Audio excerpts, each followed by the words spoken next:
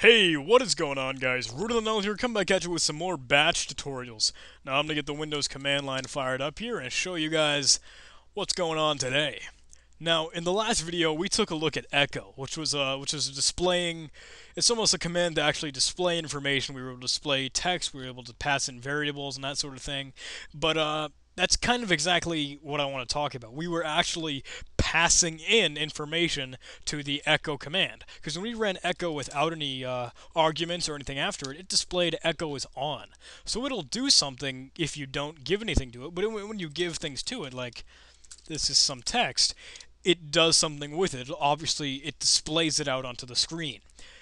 But see, we're passing in something to echo. We're, we're applying more arguments or what we call parameters to the program. Now we can do this with a lot of different commands and things like that. See, we had the dir command quite a while ago, and uh, we were in that we would just display the contents of everything. uh, at least display the contents of the current directory that we're in. So we've got all these things here. We've got other directories, got the parent directory, we've got my desktop, and that sort of thing. So we can actually pass a whole nother um, uh, a whole nother file system or a whole nother path to the dir command and instead of looking at the current directory in your shell it'll go ahead and display the contents of everything in that folder that you pass to it. So if we passed in dir and then we used a space right after it to denote a whole nother argument set if we did dir desktop it'll display everything in my desktop. See directory of C users John Hammond desktop. And if we did it normally, it would just be using C users John Hammond. We're actually giving something new to the program.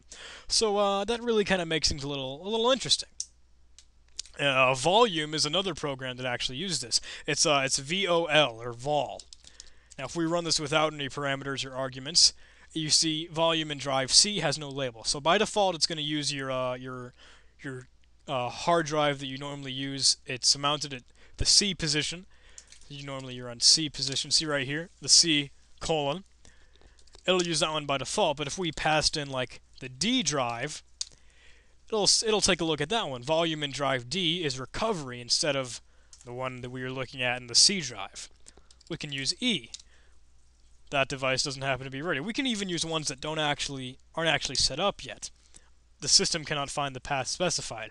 But all I'm really trying to show you in this video is that you can send in or just supply more arguments or parameters to a command statement to have it act in a different way, to have it do something new with what the, with the information you're giving it. And we did that in Echo, we did that with DIR just now, and we did that with Volume. So really we can actually even supply some some of this functionality to the scripts that we write, and there's a whole lot we can do with this, and it really is just giving us another alternative to be able to work with information and data.